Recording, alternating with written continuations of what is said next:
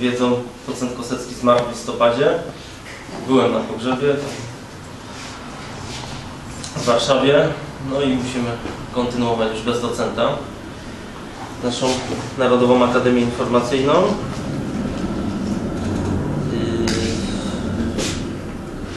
W styczniu, y, w lutym będzie Bronka, 1 lutego, Civitas Christiana, takie sprawy organizacyjne. No a my teraz się zajmiemy nauką o cywilizacjach słonecznego.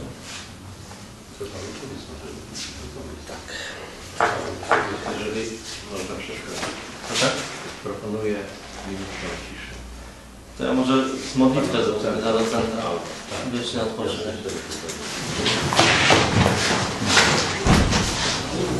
Wieczny odpoczynek. Wieczny odpoczynek racz mi dać Panie. niechaj mu świeci.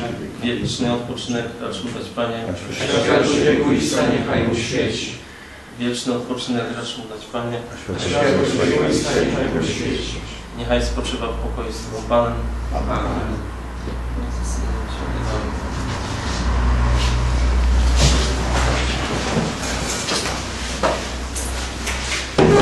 Naukę o cywilizacjach rozpoczęliśmy ponad rok temu tak się trochę to ślamaszerzyło.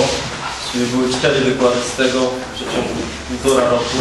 Także ja pozwolę sobie krótko przypomnieć yy, o czym była mowa, no bo żeby była ciągle zadawana, żebyśmy wiedzieli rozumieli o co chodzi. Także najpierw była mowa o jedno, jednostronnych teoriach rozwoju. E, To są takie teorie rozwoju społecznego, które eksponują tylko jeden czynnik, wręcz go dem- demonizując. No i tutaj można trzy główne wydzielić, czyli biologizm, ideologizm i ekonomizm. I właściwie biologizm próbuje mm, wyjaśnić funkcjonowanie społeczeństwa e, za pomocą czynników biologicznych. I tu są trzy takie główne nurty były czyli teorie organiczne, które porównywały funkcjonowanie życia społecznego do funkcjonowania organizmu. Y, To z XIX wieku się był August Comte i Herbert Spencer przedstawicielami tych teorii. Y, Drugim, teori- y, drugim nurtem był darwinizm społeczny, który próbował wyjaśnić życie społeczne poprzez pryzmat walki o byt. Porównywał życie społeczne do, do życia stad zwierzęcych i tak dalej. No i trzecim e, takim nurtem był rasizm, czyli opierał e, właściwie decydującym czynnikiem według rasizmu był skład rasowy danej populacji i, i na podstawie tego wysnuwał e, teorię na temat życia społecznego. No tutaj właśnie rasizm został wprowadzany w czyn politykę właśnie przez Hitlera i nazizm. To skończyło się tragicznie. E, Kolejną taką jednostronną teorią był ideologizm, e, czyli to, jest dość rozpowszechnione w takich kręgach e, katolickich i narodowych. Według tej teorii wielkie ideologie głównie wpływały na życie społeczne. No, tam powstało chrześcijaństwo, które doprowadziło do zniesienia niewolnictwa i to zmieniło bieg dziejów. Później w ramach chrześcijaństwa wyodrębnił się protestantyzm, który doprowadził do wojen religijnych i z kolei to doprowadziło do wielkich zmian społecznych. W XVIII wieku powstała masoneria. Pierwsza loża masońska w 1717 roku w Anglii powstała. To doprowadziło do Wielkiej Rewolucji Francuskiej i do kolejnych zmian społecznych. Następnie marksizm i rewolucja bolszewicka w Rosji, no i tak, tak dalej. I kolejnym, kolejnym, e, kolejną taką wielką teorią, jednostronną teorią rozwoju społecznego to jest ekonomizm i on obecnie panuje. I e, ekonomizm twierdzi, że gospodarka jest decydującym czynnikiem rozwoju społecznego, sposób gospodarowania. I tu też są takie dwa e, główne nurty, czyli liberalizm. E, liberalizm twierdzi, że wszystkim decyduje niewidzialna ręka rynku. E, I kolejnym, kolejnym nurtem jest marksizm, który jest na wyższym stopniu, bo już uwzględnia czynnik społeczny, ale wyrasta z dnia liberalnego. Tam Marxizm, e, Marx się e, studiował dzieła Adama Smitha, Ricardo i tak. I, I z tego wyrósł marksizm. Można powiedzieć, że takim kolejnym e, jednostronną teorią jest banksteryzm, czyli że za wszystkim stoją banki. To jest ustecznik do marksizmu, bo to nie uwzględnia nawet tego czynnika społecznego. No, no i każdą z tych teorii można sfalsyfikować. No, biologizm, no to powiedzmy to podejście rasowe, no to populacja polska i ukraińska ma bardzo y, podobny skład genetyczny. No, właściwie Polska to jest najbardziej jednorodna w całej Europie pod względem genetycznym, bo genetyka to jest wyższy etap y, tych teorii rasowych, to na wyższy poziom naukowy przeszło i tak się zrodziła genetyka. No i, i ukraińska populacja, no, no a tu są dwa całkiem, y, dwa całkiem inne narody, które inaczej żyją. Y, powiedzmy ideologizm to tutaj republikańska mm, Stany Zjednoczone wystąpiły przeciw kolonia, jako kolonia wystąpiły przeciwko monarchistycznej Wielkiej Brytanii, a jednak monarchistyczna Francja poparła Stany Zjednoczone, no to, to już nie działa w tym momencie. Tak samo podczas II wojny światowej. Kapitalistyczne Stany Zjednoczone i Wielka Brytania były w sojuszu z komunistycznym Związkiem Radzieckim przeciwko kapitalistycznej III Rzeszy. Tutaj widzimy, że to nie funkcjonuje. E, Jeśli chodzi o liberalizm, to chyba Olszewski niewidzialną rękę rynku sfalsyfikował, jako że to się okazała ręka aferzysty i złodzieja. To tu mamy taką falsyfikację marksizm do czego doprowadził, to też, też widzieliśmy na własnej skórze. Yy, także no, są pomniejsze jeszcze teorie, na przykład, że za wszystkim KGB stoi, wszystko jest w Moskwie. Jakby wszystko było w Moskwie, to by sobie nie dali zniszczyć Związku Radzieckiego po prostu. Tylko by funkcjonował Związek Radziecki dalej. No jak wiemy, zawalił się w 1993. Także odpowiedzią na te jednostronne teorie, yy, próbującą ująć całościowo życie społeczne, była nauka o cywilizacjach, którą stworzył polski naukowiec Felix Koneczny.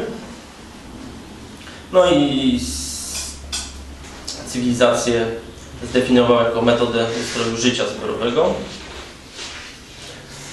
Yy, A nowsza definicja cybernetyczna to można powiedzieć, że to jest jednolity system norm społecznych oraz odpowiadających im postań i działań określających stosunek do jego społeczeństwa do pięciu kategorii bytu społecznego. Ja to tak szybko powtarzam tylko, bo to Wronka wykładał. Yy, tak, yy, normy społeczne to są więzy regulujące zachowanie jednostek ludzkich w społeczeństwie. W ramach cywilizacji można wyróżnić kultury, czyli na przykład kultura polska w cywilizacji łacińskiej, czy kultura węgierska w cywilizacji łacińskiej, albo kultura niemiecka w cywilizacji bizantyjskiej, czy też rosyjska w cywilizacji turańskiej. Yy, I tak, Koneczny zauważył, że nie ma jednej cywilizacji dla całej ludzkości, i znalazł tylko cztery cechy wspólne, takie łączące wszystkie cywilizacje e, na świecie z kategorii etyki i właściwie te cechy też wymagają komentarza. I to po pierwsze to było potępienie kradzieży. Tylko, że to też zależy jak się kradzież definiuje, bo w społeczeństwach turańskich wroga można okradać potępienie cudzołóstwa i to też jest różnie definiowane, bo w cywilizacji łacińskiej tam stosunki przedmałżeńskie są zakazane, natomiast w cywilizacji żydowskiej z etycznego punktu widzenia są dopuszczalne. Trzeci to jest potępienie zdrady własnej społeczności.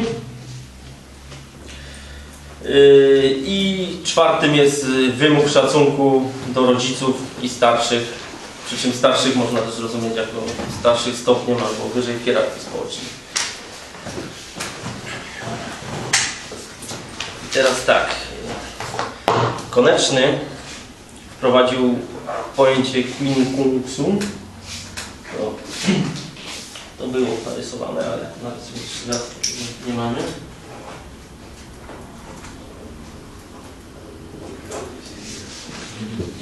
Jako pięciu kategorii bytu społecznego.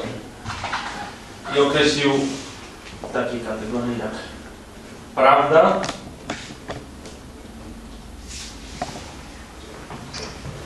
dobro, Tu są flomasty większe o, świetnie,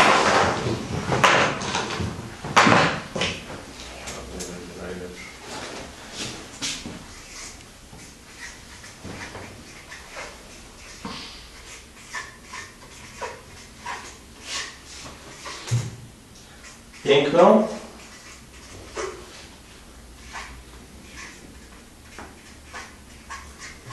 Zdrowie i dobro. Tak. Te górne określił jako kategorie duchowe, natomiast dolne jako materialne. Piękno było kategorią pośrednią, to więc są pierwiastki duchowe i materialne. I teraz yy, prawda, w kategorii prawdy chodzi o to, czy istnieje yy, obiektywna prawda, niezależna od poznania, jaki jest stosunek danej cywilizacji do pojęcia prawdy? I czy prawda jest dostępna dla każdego, jest członka społeczeństwa.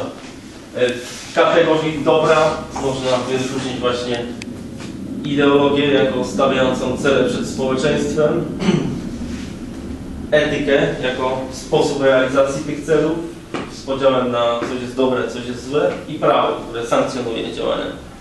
W takim sensie, że coś jest zakazane, a coś jest dozwolone. Yy, W kategorii piękna to są po prostu sztuka i normy estetyczne występujące w danej cywilizacji. Natomiast zdrowie to system higieny, medy, medycyny, lecznictwa oraz związane z tym instytucje społeczne.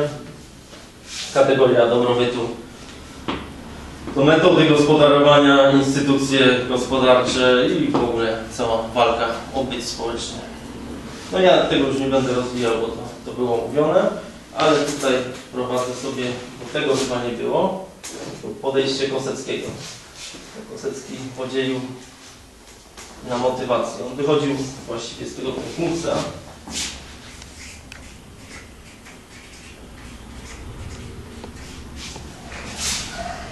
Ale podszedł do tego w sposób cybernetyczny i to też ewoluowało, ponieważ na początku inaczej tam zrobił, ale już ten końcowy efekt jego pracy zapiszę. Czyli są tak.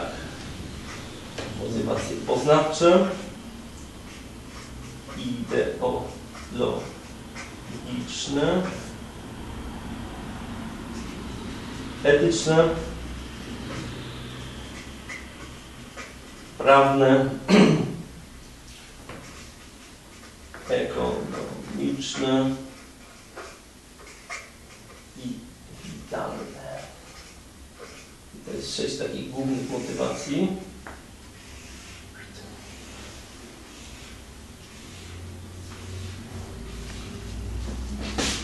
Można powiedzieć sobie tak tutaj i tu jest tak dominujące bodźce jakie są w danej motywacji. I tutaj mamy poznawczych dominację bodźców energetycznych, później w ideologii są niższe, w etycznych, tak mi się krzywo troszkę narysowało, ale to jest mniej więcej pół na pół, natomiast bodźce energetyczne dominują w motywacjach ekonomicznych i witalnych. No. I teraz jak się ma to do tego, bo to z tego wychodzi procent posecki. Także tak, może zacznijmy od dołu. Bo tutaj ten podział na bodźce ekonomiczne, e, motywacje ekonomiczne i pytalne wynika właśnie z tych dwóch kategorii bytu społecznego, zdrowia i dobrobytu. Tyle, że Koneczny to podzielił inaczej trochę, a Kosecki to rozdzielił inaczej. Mianowicie do, kateg- do motywacji witalnych można to połączyć z y, tą kategorią zdrowia i dobrobytu. Natomiast yy, dobrobyt to się częściowo mieści ekonomicznych i częściowo witalnej.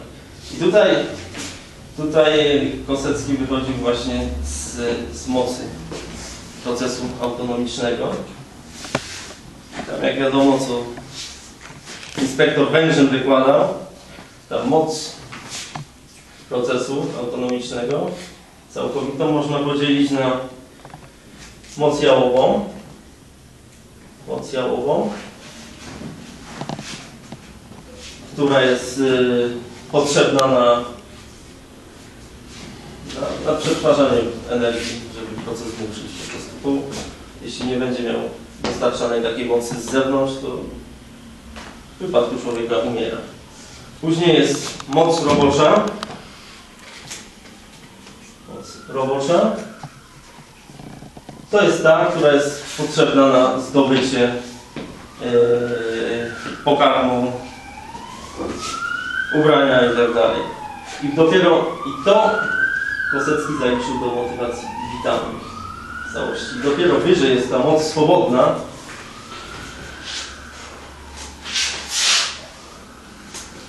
która zostaje po e, e, no jak się z mocy jałowej, to jest część mocy moment, dyspozycyjnej, czyli ta nadwyżka mocy, jeśli mamy zaspokojone dostarczone jedzenia, żeby przeżyć i tak dalej, ubrania. Czyli w ramach tej mocy roboczej mamy czas po pracy, to mamy moc swobodną i ją możemy przeznaczyć na te wyższe motywacje. I tu jest właśnie ważny podział na te motywacje ekonomiczne i witalne, czego nie rozróżniali w PRL-u władcy i mylili ekonomiczne i witalne i to doprowadzało do różnych rozruchów społecznych. No, na przykład stosowali podwyżki cen mięsa, twierdząc, że to są to działa na motywacje ekonomiczne, natomiast to działa na motywacje witalne, które dominują w społeczeństwie polskim, no i to już wprowadziło tam różnych rozruchów. I, I tak, czyli tu mamy normy prawne, to tak jak mówiłem, to są, sankcjonują działanie pod takim względem, że coś jest zakazane albo dozwolone, etyczne to czy jest dobre czy złe, ideologiczne określają cele, cele społeczeństwa, jakie stawiają przed, społeczeństwo stawia przed sobą, natomiast poznawcze yy, odpowiadają za rozpoznanie rzeczywistości. Yy, tak. No i to później Kosecki cybernetyka społeczna właśnie na tym oparł. To jest i tak właśnie. Yy, dobrobyt yy, to jest częściowo w normach witalnych, częściowo w ekonomicznych. Jest ważny ten podział, że ekonomiczne to już jest ta nadwyżka mocy. Yy, w kategorii dobra są zawarte normy ideologiczne, etyczne i prawne. One są nazywane normami konstytutywnymi. Natomiast y, prawda, no to normy poznawcze. Piękno, Kosecki miał wcześniej coś takiego jak normy estetyczne, później to wycofał, no ale piękno to właściwie na wszystkie kategorie myślę, że wpływa. To poznanie przez sztukę może nastąpić, ale też sztuka może mieć działanie ideologiczne, etyczne, prawne i tak dalej, ekonomiczne. No i to, to było tyle i później zostały wprowadzone wyróżniki cywilizacyjne. To już docent Kosecki na tym wykładzie i Koneczny wprowadził cztery wyróżniki cywilizacyjne, do czego Kosecki dodał dwa swoje, o których Koneczny mówił, ale ich nie podniósł do rangi wyróżników cywilizacyjnych. Także pierwszym wyróżnikiem jest istnienie lub nieistnienie monogamicznej rodziny wyemancypowanej spod władzy rodu. Drugim jest opanowanie czasu. Trzecim stosunek do prawdy. I to już wprowadził Kosecki. Czwartym stosunek prawa prywatnego do prawa publicznego. Piąty źródła prawa i stosunek etyki do innych kategorii bytu społecznego. Z tym się wiąże emancypacja społeczeństwa względem państwa. No i ostatnim jest istnienie lub nieistnienie świadomości narodowej. Yy, tak dla przypomnienia, bo to było przez docenta Koseckiego omawiane. Także y, istnieją cztery rodzaje rodziny. Jest rodzina półmonogamiczna, to jest związek mężczyzny i kobiety, ale z możliwością rozwodu. To na przykład w cywilizacji żydowskiej coś takiego istniało. Istnieje monogamiczna rodzina, nierozerwalna, czyli związek mężczyzny i kobiety. I To w cywilizacji rzymskiej było, później przyjęła to cywilizacja łacińska, no bizantyjskiej to raczej tak.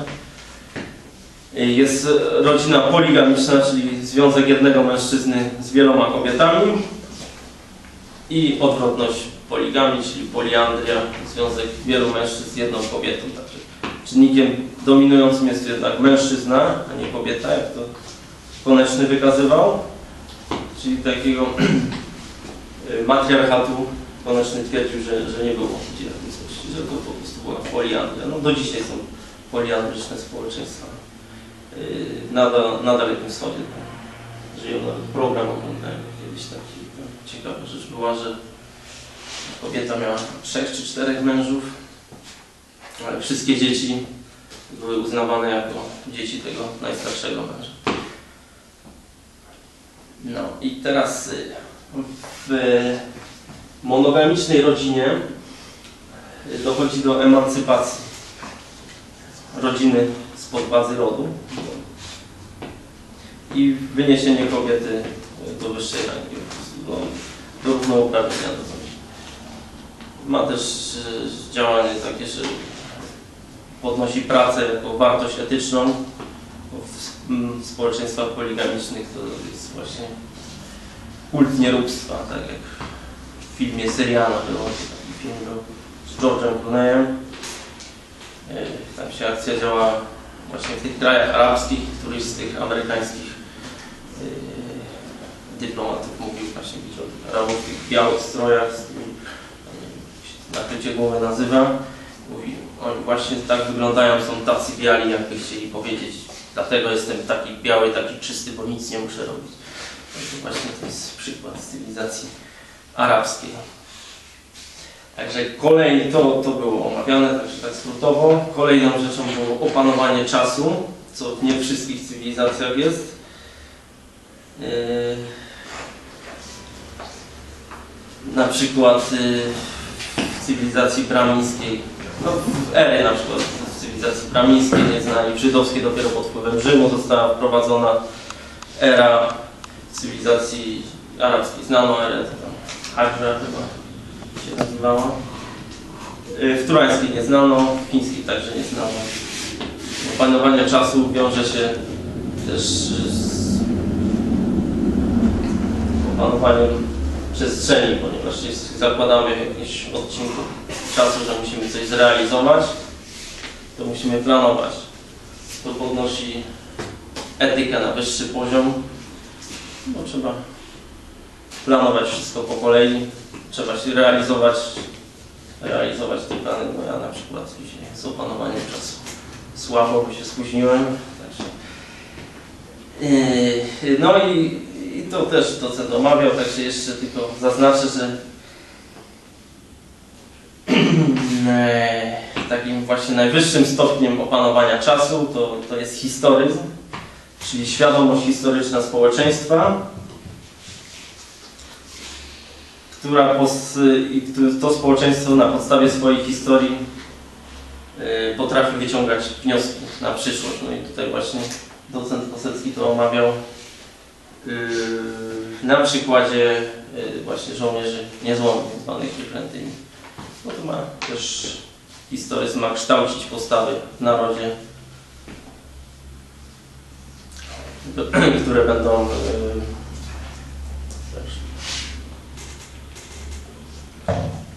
kształcić postawy takie, które będą no, prowadziły do przetrwania narodu i, i dalszego, dalszej egzystencji narodu. I to były te trzy, trzy kategorie. Teraz czwartą kategorią jest stosunek prawa prywatnego do prawa publicznego. To już nie było omawiane. Także tutaj zdefiniować, co to jest prawo prywatne. Także Koneczny zdefiniował prawo prywatne jako prawo, które reguluje stosunki między członkami społeczeństwa. Na prawo prywatne składało się trójprawo, czyli prawo rodzinne po pierwsze,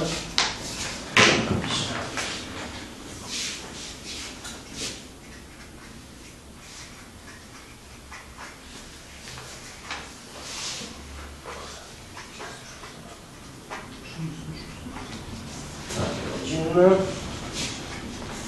prawo majątkowe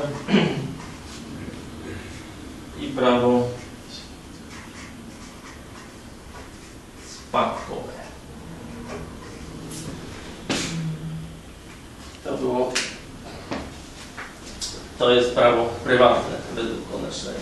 Także prawo rodzinne, no to właśnie ta monogamia, poligamia, półmonogamia i poliandria. No i właśnie tu Koneczny za, zauważył, że, że przy monogamii te społeczeństwa są brutalne, turańskie, bo dominuje ten czynnik yy, męski. Jest tam niedorozwój etyki. No i, no i z tą pracą mówiłem właśnie to, co, to, co mówiłem. Yy, kolejna rzecz to jest, to, to, no to właściwie to też było, o tym była mowa. Prawo majątkowe. W prawie majątkowym chodzi o to, czy uznawana jest własność prywatna, osobista, czy wszystkie rzeczy są własnością państwa, czyli władcy pojedynczego albo jakiegoś kolektywu społecznego. I to jest właśnie różne w różnych cywilizacjach, różnie się do tego podchodzi. Na przykład w cywilizacji turańskiej wszystko jest własnością władcy. Ja oglądałem taki program ostatnio. Też y, z, to był jakiś chyba National Geographic czy coś takiego. No, oni mają to, tam dominują w tych społeczeństwach anglosaskich właśnie te motywacje ekonomiczne. To oni zrobili ile Putin tam posiada władca turański. Jaki jest bogaty, no bo to, to ich właśnie interesuje. No i tam wyliczali, wyliczali, wyszło im, że jest najbogatszym człowiekiem, no ale jak to jest władca turański, no nie w pełni, a tam jest też mieszanka cywilizacyjna, no to, to musi być najbogatszy. Całe państwo należy do niego. Y, W cywilizacji żydowskiej na przykład y, własność była właściwie kolektywna. Nie było własności osobistej jako takiej, tam, tam była własność kolektywu. Na, na przykład w, na kongresie syjonistycznym w 1925 roku uchwalono, że ziemia w Palestynie jest własnością Funduszu Narodowego Żydowskiego, to się nazywał fundusz Heren Kajma. A ten, który tam rolnik, czy, czy, czy, czy no, może nie rolnik, bo tam, ale ten, który użytkuje, no on tylko użytkuje, ale w każdym momencie tam może być zabrany przez, przez kolektyw. Yy, No i dopiero w cywilizacji rzymskiej istnieje własność osobista, niezależna od państwa i tam właśnie Rzymianie mieli, byli niezależni. Państwo nie mogło im na prywatny majątek kroczyć. No i to przejęła cywilizacja łacińska dopiero.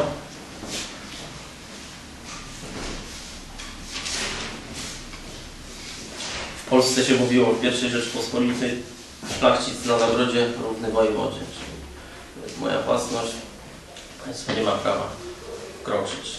Anglicy mówią my home my castle. Kosecki mówił, że właśnie, że, żeby wywłaszczyć kogoś w Anglii jest potrzebna uchwała parlamentu czyli nie może urzędnik wydać decyzji sobie, tak jak w Polsce na przykład jest teraz obecnie. Z cała ustawą wywłaszczeniowa, że na wyższe cele zostaje podjęta decyzja administracyjna bodajże, no i już tam się odszkodowanie płaci, koniec. Anglii nie ma takiej możliwości. Yy, Także prawo majątkowe prowadzi do, do podniesienia godności ludzkiej. Człowiek jest podmiotowy wtedy, jeśli ma własność. I zauważył Koneczny, że prawo, ta własność prywatna rozwinęła się tylko w tych społeczeństwach, gdzie jest rodzina monogamiczna, czyli właśnie w Rzymie, później w cywilizacji łacińskiej, a w tych społeczeństwach kolektywistycznych, gdzie, gdzie właśnie były poligamiczne rodziny czy półmonogamiczne, to kulało tak. No, kolejnym elementem trójprawa jest prawo spadkowe, które określa sposób dziedziczenia danej społeczności. E, Czyli czy po śmierci członka społeczeństwa jego majątek dziedziczą jego dzieci, czy dziedziczy państwo albo kolektyw, albo jakieś inne zrzeszenie państwowe. I właśnie to prawo spadkowe to też jest z tej monogamicznej rodziny fundament, bo jeśli rodzina jest monogamiczna i ma dzieci, chce im majątek przekazać, no to to jest ogromny impuls gospodarczy, bo jest sens, żeby pracować, żeby wypracowywać jakiś majątek, który właśnie potomstwu zostanie przekazany. A w, e, w tych cywilizacjach właśnie poligamicznych to tam właśnie nieróbstwo dominowało i tak dalej, no bo nie ma sensu wtedy pracować. I to jest właściwie... Aha, jeszcze... To trójprawo to jest e, podstawa struktury społecznej. Struktura społeczna jest właśnie na trójprawie oparta, czyli na prawie rodzinnym, majątkowym i spadkowym. I podczas wszelkich rewolucji to właśnie to było atakowane. Czyli na przykład w bolszewickiej Rosji były przymusowe kolektywizacje, zboże zabierano i tak przymusowe przesiedlenia. No, komunizm też prowadziło. Natomiast to trójprawo wystarcza na niższym szczeblu rozwoju społecznego, natomiast na wyższym szczeblu rozwoju społecznego jest już potrzebne prawo publiczne. To jest prawo prywatne. Piszemy.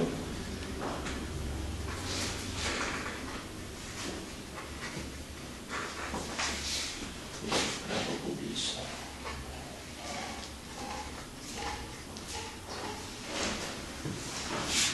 Eee. Prawo publiczne reguluje funkcjonowanie i rozwój życia zbiorowego.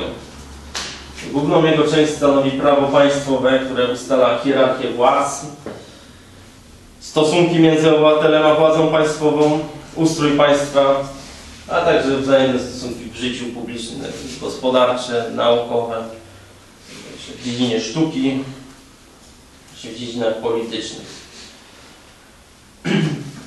Także zalążek prawa publicznego jest we władzy starosty rodowego. A później, jak rody łączyły się w szczepy, na czele szczepu stał książę szczepowy. To był właśnie zalążek prawa publicznego. I teraz w, tym, e, w tej zasadzie tutaj, w wyróżniku cywilizacyjnym, stosunek prawa prywatnego do publicznego. Chodzi o to, czy mm, jaki jest wzajemny stosunek jednego prawa do drugiego i czy one są rozdzielone między sobą. I to w różnych cywilizacjach różnie jest. Na przykład w cywilizacji turańskiej prawo publiczne wyrasta z prawa prywatnego władcy. I tak jak mówiłem, to co władca nakaże, to jest prawem. To, że są jakieś kodeksy spisane, to dla ułatwienia sp- spisuje władca, żeby nie musiał za każdym razem tłumaczyć. To jest kodeks, ale to nie znaczy, że on może odwołać to prawo. Tam nie ma takiej zasady, że prawo nie działa wstecz. Może działać. Jak się władcy wymyśli, że ma być inaczej, to prawo działa też. To, to zmienia prawo i muszą się, społeczeństwo musi się podporządkować. Ciekawa rzecz właśnie w Polsce, tak? tak to działa. Na przykład czytałem artykuł ostatnio, jak wykończono producentów polskich karet. Właśnie tam jeden wiceminister prowadził inną interpretację prawa. Prawo zadziałało do tyłu, na- naliczono podatki, no, no i nie, nie wytrzymali tego przedsiębiorcy. No To jest turańszczyzna po prostu w tym momencie w Polsce. W cywilizacji bizantyjskiej y, prawo publiczne wchłonęło prawo prywatne. Także jest tam prawo prywatne, ale prawo publiczne się wtrąca w prawo prywatne i tam coraz. Więc no to na przykład życie rodzinne, otwieranie dzieci rodzicom pod różnymi pretekstami, czy to biedy, czy, czy jakiejś higieny, no to obserwujemy to w Polsce właśnie, rozrost prawa publicznego, które wchodzi na to prawo prywatne, no i dominuje go. Y, W cywilizacji żydowskiej zarówno prawo publiczne, jak i prawo prywatne jest wyprowadzane z przepisów religijnych, y, z y, prawa objawionego.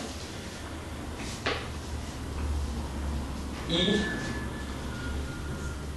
tam y, interpretuje to rabin. Także interpretacja prawa zależy od rabina. Jeśli są rozbieżności, to rabin ma dowolność interpretacji, może zinterpretować tak, jak jemu, jemu się akurat y, wydaje.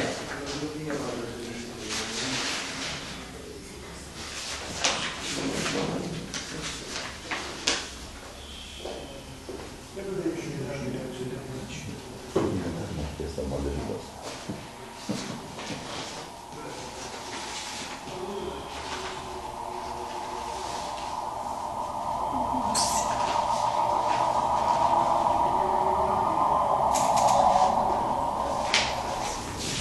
Porządny.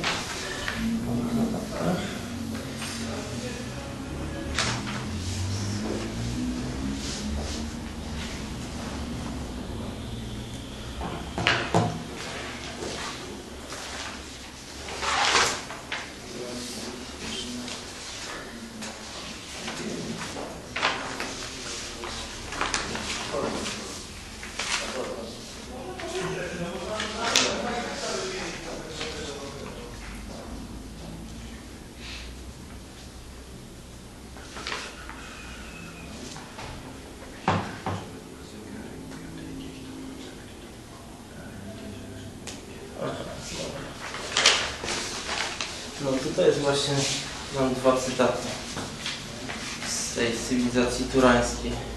Jak to tam działało. Na przykład Han Kanjutu w liście do generała Grąbczewskiego pisał. To jest właśnie ten przerost prawa. E, Wyprowadzenie prawa publicznego z prawa prywatnego. Wiedz, że jesteś w kraju, gdzie nawet ptaki poczynają mieć siłę w skrzydłach dopiero otrzymawszy mój rozkaz. Wszystko władcy było podporządkowane. A Mikołaj II po klęsce pod Kushimą w wojnie rosyjsko-japońskiej, tam praca go atakowała, to stwierdził, czego chce ta hołota, czego się wtrąca, to moja flota. Tam zatopili ogromną część floty rosyjskiej, japońskiej. Także dla niego to był jego własność prywatna czego oni chcieli. On jest władcą całego, całego państwa. Eee, w cywilizacji bramińskiej są jakieś tam zalążki społeczne, ale, ale to się kończy na, na kastach. W cywilizacji arabskiej jest prawo publiczne, jest wyprowadzane z prawa prywatnego, które jest w Koranie. Się podciąga e, podatki podjałmużne, obowiązek służby wojskowej pod świętą wojnę i tak dalej.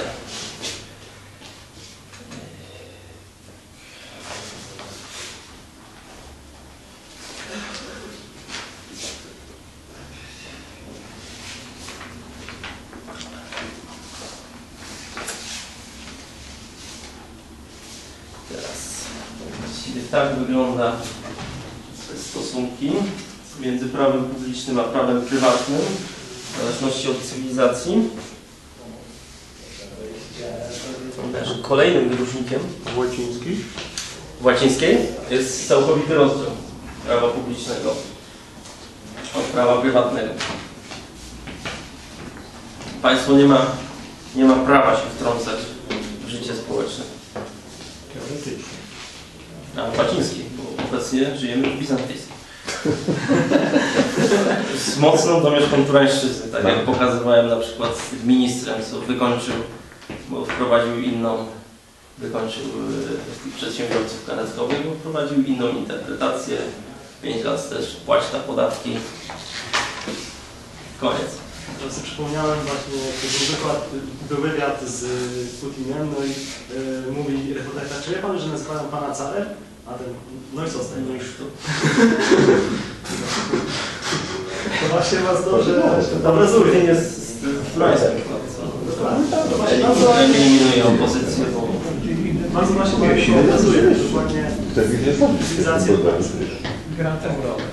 No, skalę, z charakterystyką Rosji jest tam, że tam jest mieszanka cywilizacyjna właśnie.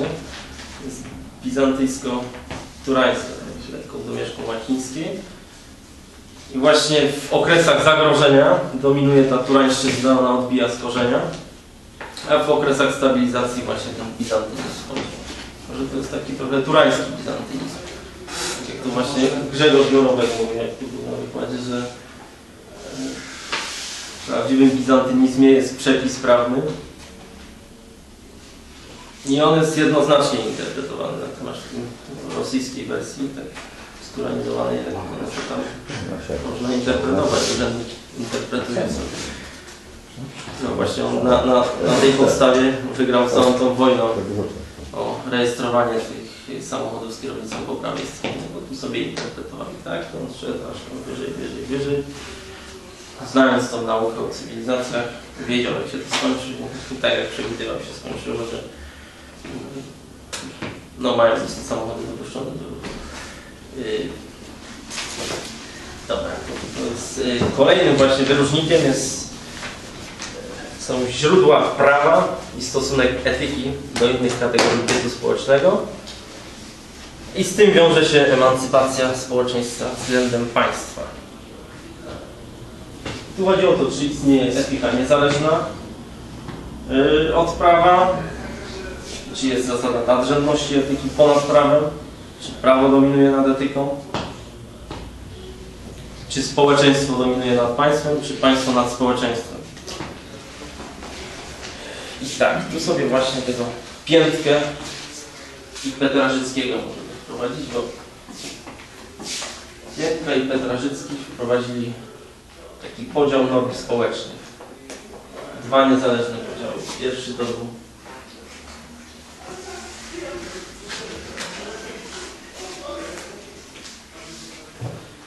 normy autonomiczne,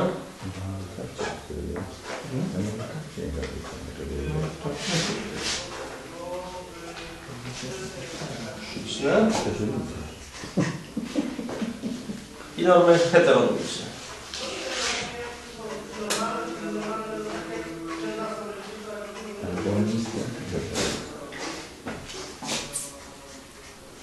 A drugi podział? To był podział na normy roszczeniowe.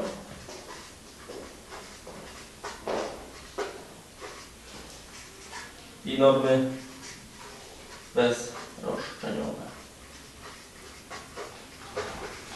I te dwa podziały są niezależne od siebie, także może powstać teraz, a tak, to jest to, tak, norm autonomicznych ludzie przestrzegają sami z przekonania o ich słuszności, z wewnętrznego przekonania o ich słuszności, natomiast heteronomicznych przestrzegają pod wpływem jakiegoś autorytetu. Autorytet tak nakazuje, są przestrzegane pod wpływem autorytetu. Natomiast w normach roszczeniowych chodzi o to, że to zdefiniował Petrarzycki obowiązkom jednych podmiotów tej normy podlegają uprawnienia o charakterze roszczeniowym innych podmiotów. Czyli właśnie to jest ta sankcja tutaj, że pewne działania są zakazane, inne niezakazane. Natomiast bezroszczeniowych polega na tym, że obowiązkom jednych podmiotów tej normy nie podlegają uprawnienia o charakterze roszczeniowym innych podmiotów. No to na przykład właśnie nie ma tej sankcji, tych bezroszczeniowych, no to można, można teraz tak zrobić sobie taki podział. Niech pan da nową kartę, bo przecież już nie, nie będzie widać. Nie będzie widać? No tak, bo to tak Nie, tutaj się zmieszczę. oszczędnościowo. Tak będę pisał skrótowo już. to będzie widać. Musi, musi widać.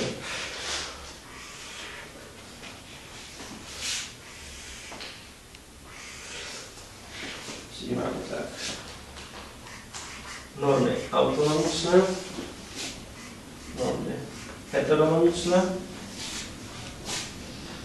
I normy roszczeniowe, normy bezroszczeniowe. Możemy mieć takie połączenia, można mogą być normy autonomiczne roszczeniowe, normy autonomiczne bezroszczeniowe. I tak samo normy heteronomiczne roszczeniowe i normy heteronomiczne bezroszczeniowe. Także co to jest to? Normy autonomiczne i roszczeniowe. No to są takie normy, w których ludzie ich przestrzegają z wewnętrznego, przestrzega, e, z wewnętrznego przekonania i jednocześnie sankcja tam występuje. Czyli to jest po prostu prawo naturalne. Tak zdefiniowane. Bo naturalne. To jest mylnie kojarzone z Kościołem katolickim. To już w starożytnym Rzymie istniało. Także to nie, nie tylko Kościół katolicki. Prawo naturalne. No, to już wcześniej Rzym stworzył prawo naturalne. Natomiast normy autonomiczne bezroszczeniowe no to jest etyka, no bo człowiek albo obyczaj. Człowiek przestrzega tych norm z własnego przekonania, ale nie jest to sankcjonowane. No, no to na przykład, nie wiem, ustępowanie miejsca w autobusie osobom starszym. Wie- Wielu ludzi przestrzega tego, natomiast jeśli nie ustąpią, no to tam najwyżej syknie jakaś babcia czy dziadek na nich, ale nic im nie grozi za to. I tutaj mamy kolejne, to są normy heteronomiczne, roszczeniowe. To jest yy, prawo stanowione.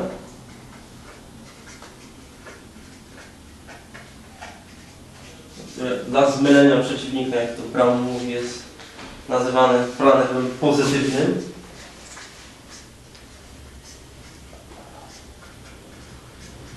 Naukach prawnych. Yy, no, pozytywny no to jest stereotyp. Pozytywny, coś jest pozytywne, to jest fajnie, nie wiem, cacy. No nie o to chodzi. To są po prostu normy heteronomiczne, roszczeniowe, czyli to są oparte o autorytet i sankcja za nim stoi. I tu jest ostatnia kombinacja, to są normy heteronomiczne, bezroszczeniowe, no to to jest etyka autorytatywna.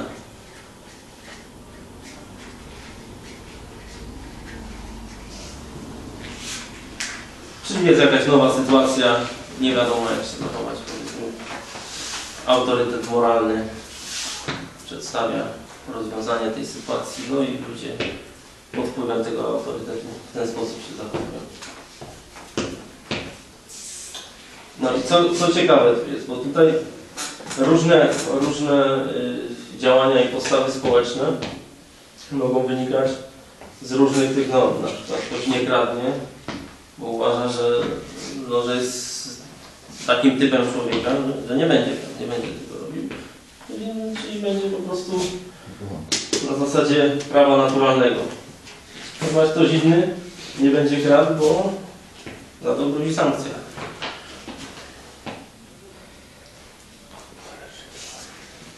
I teraz to jest charakterystyczne, prawo naturalne jest charakterystyczne dla, dla cywilizacji łacińskiej.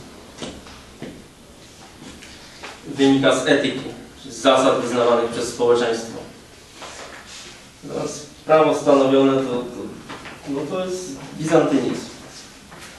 Biurokracja uchwali jakieś prawa, no i trzeba się podporządkować. Dobrym przykładem tu jest e, hitlerowskie prawa właśnie, gdzie ludzi uznano oficjalnie Żydów za nie ludzi mordowano zgodnie z prawem. No i z, z pozycji prawa stanowionego tego się nie, nie da zaatakować. No, zgodnie demokratyczna większość uchwaliła, zatwierdziła, to było zgodnie z prawem. I SS, e, no, no SS-mani na procesach się bronili później w ten sposób, że y, jeśli, jak były te procesy norymberskie, jeśli postępowali zgodnie z prawem III Rzeszy, to mówili, że to jest zemsta zwycięzców nad zwyciężonymi. Natomiast jeśli złamali prawo i wiedzieli o tym, bo to się tam kajali, kluczyli i tak dalej, to, to po prostu wyznawali e, to. Dobrym przykładem też tutaj jest właśnie przykład z Ściąż. Zbyszka. No i tak. Także tak. Tak jest? Danusia właśnie. Danusia muci ją zarzuciła. No i zebrała się rada. Uznali, że taki jest obyczaj i prawo naturalne z tego wynika. Darowano życie. Natomiast Krzyżak skomentował Pogański kraj, Pogański kraj, dziki kraj, dzikie obyczaje. No to to jest właśnie ta różnica cywilizacyjna. No, państwo krzyżackie było państwem bizantyńskim. Eee...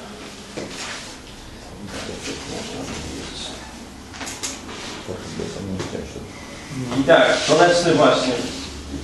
Wracamy do konecznego. On wyróżnił właśnie cywilizacje jakie otwory organiczne, gdzie prawo wynika z zasad wyznawanych przez społeczeństwo. I twory mechaniczne, którym z góry było narzucane, można, no zasady były narzucane z góry przez władzę.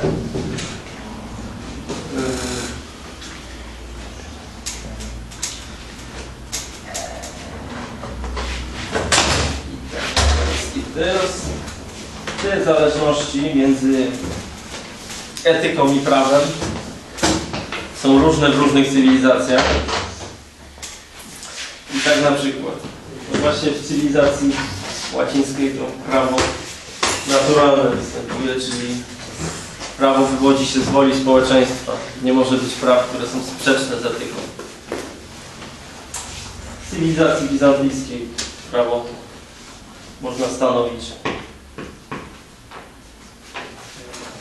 mm, no, be, bez y, zastanowienia się nad etyką. Prawo jest ponad etyką. Etyka jest o tyle dozwolona, o ile jest zgodna z prawem.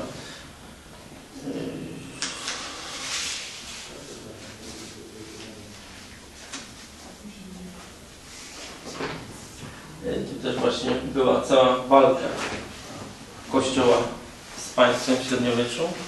Walka inwestyturę nazywało. tak? Mm, To właśnie chodziło o niezależność Kościoła od państwa, czyli o dominację etyki nad prawem.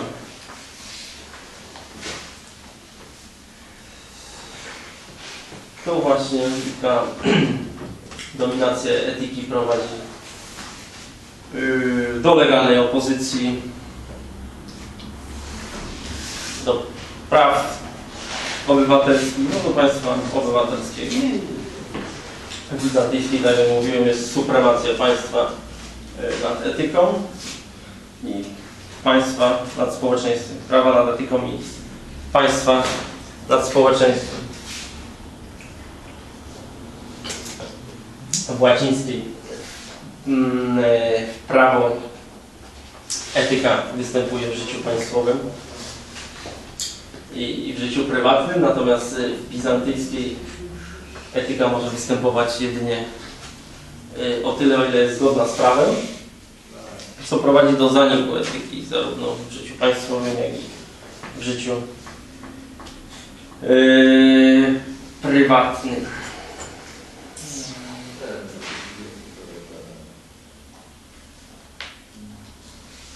W cywilizacji turańskiej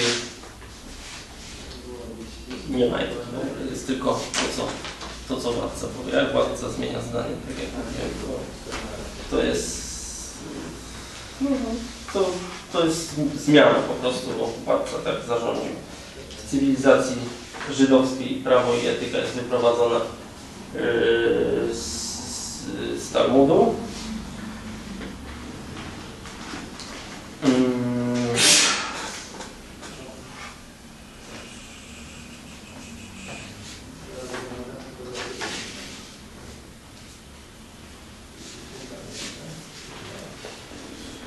W cywilizacji arabskiej jest z Koranu wyprowadzana.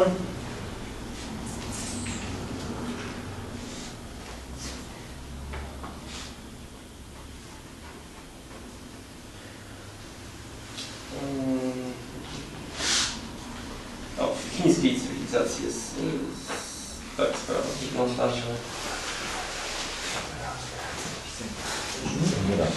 społeczeństwo nie miesza się w życie państwowe, państwo nie miesza się w życie społeczne, czyli e, rozdzielność, ale prawo publiczne może być bezetyczne kompletnie.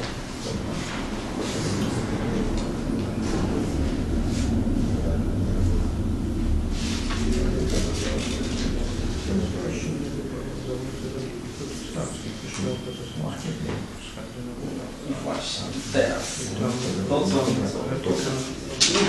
na podstawie tego prowadzić taką kombinatorykę cywilizacyjną. I właśnie tutaj, tutaj Kostecki wprowadził tylko dwa wyrobniki właściwie e, w tej cybernetycznej wersji nauki o cywilizacjach. To jest pierwszym to jest stosunek ideologii do yy, norm ideologicznych do norm poznawczych, a drugi jest właśnie stosunek norm prawnych do norm etycznych. No i tu właśnie można to sobie rozrysować. Tak. Nie pomylił.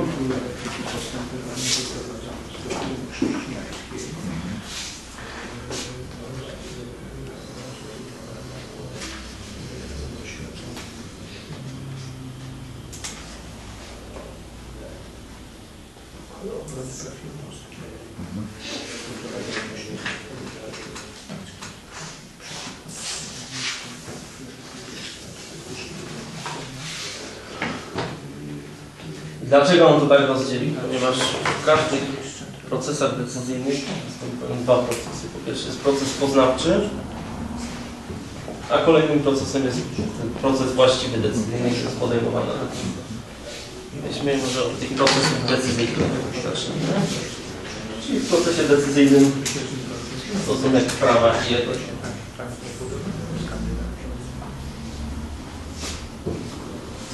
Może być tak, że jest tylko prawo.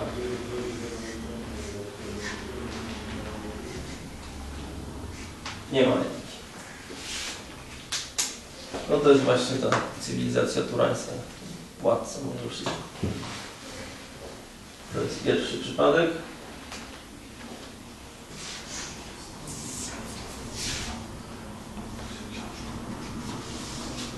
Drugim przypadkiem jest rozdzielność prawa i etyki.